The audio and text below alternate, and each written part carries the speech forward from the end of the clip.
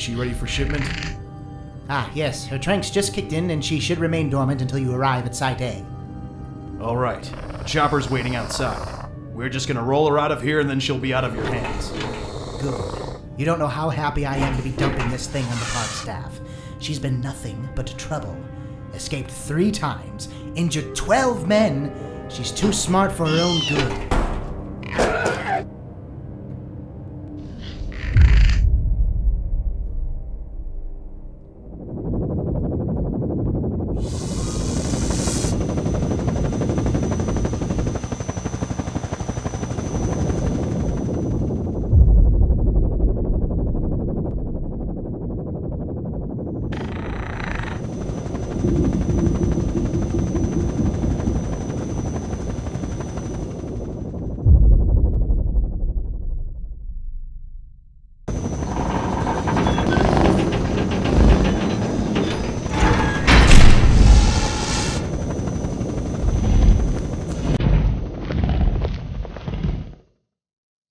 So, you're the clever girl.